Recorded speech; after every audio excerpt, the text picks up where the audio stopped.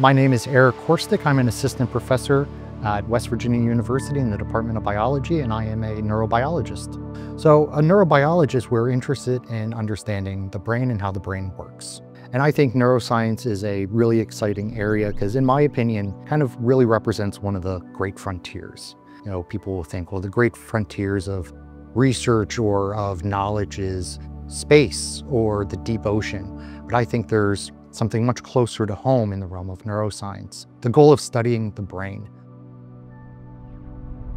If we take our brain, for example, it is built of 90 billion neurons forming approximately 700 trillion connections.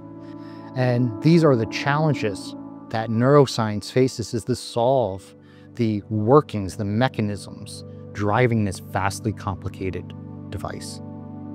Our research in my lab, we use zebrafish as a model system. The stage that we do most of our work with, the larval zebrafish, adds a few really key advantages. One, they have a brain that is surprisingly very comparable to ours. We can go in and find the same neural structures that are found in the human brain. They are also optically clear. So what that gives us the ability to do is then use infrastructure like the super resolution imaging to actually peer into the brain, to pop the hood as it were, and look in at what's happening, but in whole intact animals. NIFTY, the National Science Foundation, has been a kind of driving effort to expand neuroscience research across the state. It is a grant that spans multiple institutions, including WVU, West Virginia State, Shepherd, and Marshall University, and it is targeted at building both infrastructure to allow our research to kind of take the next step and also to grow the already strong basis in neuroscience research happening across the state, particularly in areas of neuroplasticity, which is the ability of the brain to kind of change and adapt these large multi-institutional collaborative grants that are really you know, game changers.